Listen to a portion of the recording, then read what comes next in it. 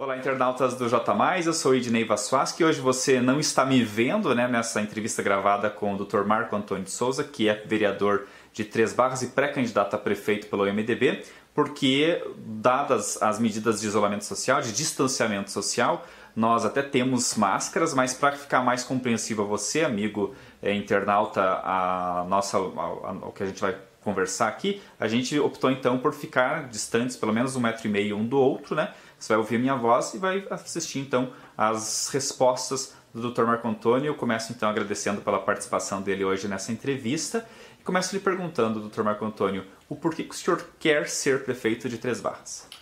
Olá, Ednei. Olá, telespectadores que estão nos assistindo. É, eu agradeço, Ednei, a oportunidade que está sendo nos dada. Agradeço a todos os telespectadores que estão nos assistindo, que estão deixando um tempinho de suas vidas é, do seu dia a dia para nos assistir aqui falando sobre política. Pois bem, é, o primeiro, principal motivo de, de, eu querer ser prefeito de Três Barras, de eu estar nessa luta, é o amor que eu sinto por Três Barras. Eu sou trêsbarrense, nascido, criado, moro em Três Barras, amo a minha cidade. Então esse é o primeiro motivo. É um amor que vem de berço. O meu bisavô, é, Siriaco Filhos de Souza, foi o grande líder do Grupo dos Onze que lutou pela emancipação de Três Barras, é, passou esse amor por Três Barras é, as gerações, meu avô, meu pai, tios que participaram ativamente da política de Três Barras, e a gente é, herdou isso e vamos dar continuidade. E o segundo motivo, aliado a esse amor que a gente tem por Três Barras, é porque a gente entende que Três Barras é um grande gigante adormecido e que com poucas mudanças, mudanças da mentalidade administrativa, com uma transformação da forma de fazer administração e política entre as barras, é, o município tem tudo para ser uma grande potência, um, um, grande modelo, um modelo não só para Santa Catarina, mas para todo o Brasil, por todo o potencial econômico da cidade. A gente sabe que o MDB em Três Barras, ele historicamente, né, ele precisa de bons aliados para buscar um, uma eleição, quer dizer, ele em chapa pura é bastante arriscado. Como é que está essa busca por aliados, Marco? Olha, Dinei, é, o MDB, o nosso, falando agora recente, desde que eu sou presidente, a gente definiu um projeto de, de apresentar para a população um grande plano de desenvolvimento para a cidade. Um, um plano de mudança, um plano de, como eu falei, de transformação. Quem tiver alinhado com, essa, com esse nosso entendimento, que queira mudar a forma de fazer política e administração entre as barras, é, vai vir nos apoiar e nós estamos abertos para conversa. Agora, com o velho sistema político do toma lá da cá, do oferecimento só de cargo e função para cooptar apoio político, aí nós não temos condições de conversar e nem, nem nos interessa conversar. O senhor tem demonstrado, aliás, é, praticamente é solitário na oposição ao prefeito Timuguiri dentro da Câmara de Vereadores, até porque recentemente a Daniela Kreilin, que é do seu partido e fazia oposição também ao governo, acabou é, mudando de partido e isso levou a um alinhamento quase que automático à atual gestão. Não é um pouco frustrante ser sozinho na oposição? Olha, Dinei, eu, a gente não pode perder as nossas convicções. Eu, desde o início, eu tenho a minha convicção. É, é, importante que se diga que eu não faço desde o começo, e quem me acompanha e pode acompanhar, eu não faço aquela oposição sistemática de ser é, contra tudo o que é do prefeito. Eu apoiei vários projetos do prefeito, só que eu sempre deixei claro as minhas opiniões, as minhas posições, sempre pensando no bem de Três Barras. Então, eu tendo essa convicção, claro que teoricamente pode frustrar mas a minha consciência tranquila, eu continuo no mesmo caminho, eu, graças a Deus, eh, não mudei uma vírgula de tudo que eu tenho falado desde o começo, e até acho que por essa razão que eh, me expus bastante, desde o início do mandato. A gente já criou páginas na internet, sempre para estar próximo da população e sempre para estar é, é, apresentando o que nós estamos fazendo, sempre se posicionando sobre todos os assuntos, principalmente aqueles assuntos mais polêmicos e de impacto na comunidade. Então é, é o que eu digo, a gente se mantém é, com a nossa convicção e com a nossa consciência tranquila. Agora, cada um que faz as suas escolhas é que tem que explicar o porquê de ter feito isso, porquê de ter mudado o entendimento. É, essas pessoas é que tem que, tem que mudar. O que, que o senhor vê como pontos falhos na administração pública de Três Barras que precisam ser melhorados e aí o senhor se coloca como uma opção nesse sentido? Uma mudança completa de mentalidade, né, Ednei? Uma mudança completa de mentalidade administrativa e do sistema político. Isso aí é fundamental. é, lá em Três Barras o que a gente vê é a total falta de planejamento no município. Isso eu tenho batido desde o começo. É, começa pelo básico, não há plano diretor, eu tenho falado isso, não só eu, mas o meu pai, quando foi vereador, bateu muito nessa tecla e até agora nada. Então engano, engano, engano e não tem nem plano diretor. Então o que falta é planejamento. É, o único planejamento que existe em Três Barras, eu tenho falado isso, é um plano de manutenção do poder, através da reeleição. E aí toda a administração é voltada para esse viés, que é o plano da reeleição. Então, seja em obras eleitoreiras, como estamos vendo hoje, seja na, na, ocupação do poder público só por um grupo político de apoio à reeleição, que também vimos isso recentemente com distribuição de cargos e gratificações para quem se alinhasse ao projeto de reeleição. E a gente não concorda com isso. A gente acha que Três Barras, pelo potencial que tem, é, deveria ter um planejamento. Só para usar o exemplo da, da malha viária, que hoje, se for lá em Três Barras, está um, Tá tipo um canteiro de obras, mas é, cheio de buraco por tudo que é lugar, porque eles estão mexendo tudo agora. É, se você começa desde o início, você estaria entregando hoje para Três Barras praticamente todas as vias asfaltadas. Você estaria é, entregando hoje para Três Barras, como está sendo feito a Avenida Regeza e o desvio do trânsito, que ali, no ditado popular, colocaram a carroça na frente dos bois, então estão mexendo na, na Avenida Regeza sem ter feito o desvio do trânsito, então está um caos, está um caos lá, e quem está vendo isso lá, quem está vivendo, é, sabe do que eu estou falando, é, nas ruas paralelas, Ricardo Oliveira e Cirico Filhos de Souza, que não tem estrutura para suportar trânsito caminhão pesado, estão tendo que suportar porque não há planejamento. Então eu acho que se houver planejamento, que você comece a fazer desde o começo as situações, você transforma Três Barras em quatro anos, você dá um salto de qualidade em Três Barras e violência recupera mais de 30 anos de atraso.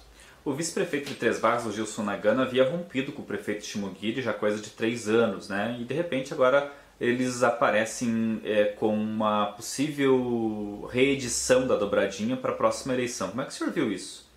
É como eu falei, Dinei, eu acho que é, as pessoas têm que se explicar para a população. Né? Essa, eu não tenho como explicar o que aconteceu entre eles lá. O que eu sei é que realmente nos bastidores havia um rompimento, é, inclusive ofensas de parte a parte, ofensas pessoais que eu discordo. Eu acho que a política você tem adversários, adversários ideológicos, mas você nunca pode partir para um lado pessoal. É, e eles realmente partiram e agora parece que estão juntos lá, inclusive com indicações de cargos e tudo mais é, eles é que têm que explicar para a população o que, que aconteceu, o que, que mudou. Né? Então eu não tenho como falar, porque eu não participo, não participei de nenhuma, nenhuma conversa nesse sentido. A gente vê que o movimento do prefeito Timogiri tem sido mais ágil no sentido de eh, juntar partidos à, à, sua candidatura à reeleição. E o MDB, pelo menos por enquanto, não tem nenhum anúncio de, de coligação, de partido e tal. Vocês não estão perdendo tempo nesse sentido? Como é que está essa questão? A nossa coligação e a nossa conversa, Ednei, vai ser com o povo de Três Barras. Nós não temos conversa com esse sistema político apodrecido que vem a nível do Brasil e, chega nas cidades. Então o nosso grande acordo, a nossa grande conversa é com a população. E como eu falei um pouco uh, atrás, é, é, nós vamos conversar com as pessoas que têm um ideal de mudança, um ideal de transformação de Três Barras. Agora, com quem quer só se aproveitar da administração na ocupação de cargos, só se locupletar pelo poder público, aí nós nem queremos conversar realmente. E o PMDB está muito, tá muito confiante na, na, na linha é, de se for preciso ir de chapa pura, nós vamos, nós temos quadro para isso. É, perdemos algum, alguns, algumas pessoas do quadro do MDB agora nessa, nessa janela, mas filhamos muita gente e muita gente que veio com esse espírito, o espírito da mudança, da transformação, sem querer nada em troca. Vem com o espírito do idealismo, do que nós podemos fazer por Três Barras e não se locupletar do município. Esse seu discurso é, me parece muito com o dos direitistas lá de, entre aspas, né, lá de Três Barras, quer dizer, o pessoal que apoiou o Bolsonaro na disputa pela presidência, que estava no PSL, que foi esvaziado depois que o, o presidente anunciou então que estava deixando o partido e estava criando aliança pelo Brasil o Aliança pelo Brasil não vai poder lançar candidatura a, a prefeito na próxima eleição, nem a vereador, né? Porém, esses, esses candidatos, esse, esse pessoal ali ligado ao bolsonarismo, estão é, pleiteando em outros partidos lançar candidatos, né, até que então o Aliança possa de fato se consolidar. É, eles também têm um discurso de que eles chamam de velha política, contrário à velha política, E o MDB, obviamente, por ser um partido tradicional, estaria incluso, né? Como é que o senhor vê esse contexto e a possibilidade, quem sabe, do MDB se juntar com essas pessoas? Com essas pessoas eu tenho conversado muito, acho que eles têm, a grande maioria deles tem esse pensamento, como se falou, tem um pensamento que se alinha com o que a gente tem pregado, e tem pregado não só agora, né? como eu falei, o que nós estamos falando agora nós estamos falando, eu particularmente, desde o dia 1 de janeiro de 2017, quando assumi o mandato de vereador. Então não é agora, eu não estou, ah, agora eu quero ser oportunista e vou começar a bater nisso. Eu tenho falado essa situação desde o começo, mas são pessoas que a gente vê que são pessoas que estão pensando em três barras. Eu tenho um bom relacionamento com eles e tudo mais, a gente pode vir a conversar. Agora, a nível de velha política ou nova política, que você tocou, eu acho importante ter tocado nessa, nessa situação, é, eu não gosto muito dessa expressão velha ou nova política. Eu entendo que você tem que falar em boa política ou má política, boas práticas ou práticas ruins, práticas que não sejam boas para a comunidade.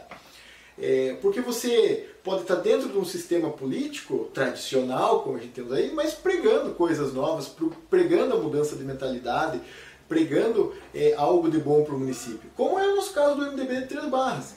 O MDB de Três Barras não tem nada a ver com a quadrilha que tomou conta do partido a nível nacional há um tempo recente. Nós não temos nada a ver com esse, com esse MDB. Nós temos a ver com o MDB de Ulisses Guimarães, nós temos a ver com o MDB de Pedro Simon, nós temos a ver com o MDB de Luiz Henrique da Silveira, aqui em Santa Catarina, pessoas que marcaram a política, que deixaram sua contribuição sem uma marca de, de, de corrupção. Então, e o MDB de Três Barras tem essa marca. Nós, o MDB, vocês podem vasculhar o MDB de Três Barras desde o seu início, lá em 1980, com meu pai, as eleições duras que foram, eleições onde em 82 meu pai ganhou individualmente e sempre perdendo no tapetão. Então, é, o MDB tem essa história, tem essa marca e não se envergonha da sua história no município de Três Barras. Você falou das falhas da administração, eu queria que você pontuasse o que é prioridade em Três Barras no caso de uma eleição. Dentro desse conjunto da mudança de mentalidade administrativa, nós temos alguns fatores que são importantes, que eu costumo dizer que são estruturais. E eu tenho falado isso desde o começo do mandato também. Então, o primeiro deles é o contorno viário. O prefeito lá está fazendo uma loucura, uma loucura completa fazendo um desvio de trânsito ali pelo bairro Argentina, que não tem estrutura nenhuma para suportar esse desvio de trânsito. É, o bairro Argentina é um bairro extremamente abandonado pelas administrações públicas, sofre com enxurrada e vai sofrer ainda mais agora com aterros que estão fazendo e não tem estrutura nenhuma para suportar. Então a gente prega um contorno viário adequado, contorno viário que resolva o problema de Três Barras. O que eles estão fazendo lá é obra eleitoreira, obra política, para o quê? Tirar o trânsito da Avenida Rigesa e jogar o problema lá para a Argentina. Então não está resolvendo problema nenhum. Outro problema estrutural que nós temos lá em Três Barras é saneamento básico. É, falo isso desde o começo.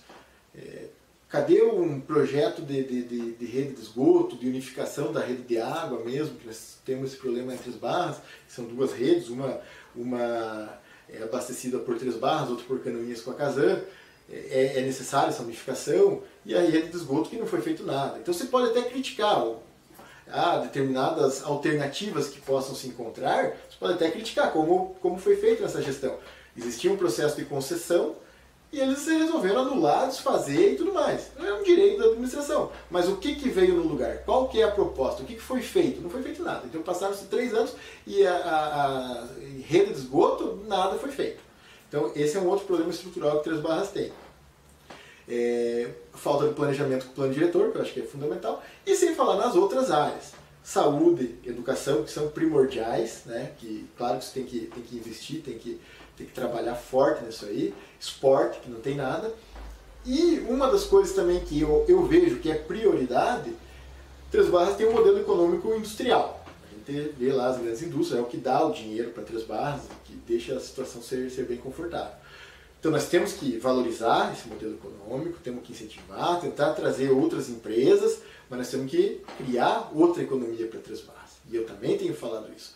E uma das que eu vejo, um dos viés que Três Barras poderia explorar é o turismo cultural. Três Barras tem uma história gigantesca, sediou a Lambert, que foi o, talvez o fator econômico da Guerra do Contestado. Então tem uma história muito rica que não é aproveitado e que vai se perdendo. vai se perdendo. Três Barras teve no início do século o cinema, que deixaram cair lá há pouco tempo atrás. Então não há uma preocupação na manutenção de sua história, que seria um viés econômico que Três Barras poderia explorar.